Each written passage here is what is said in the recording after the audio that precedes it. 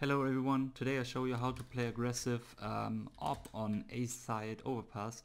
So first we push long very early in the round and go to this bench, um, jump on it and look at this white knob here and just run and jump. So you get on this wall and with this angle it's pretty hard to spot uh, and I'll show you why.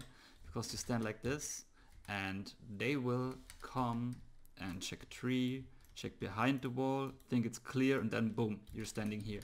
So it will give you like a lot of free kills but you can't do it every round and you still have to watch out. There's people coming here or they will come from short. So be aware and I'll show you next great position next episode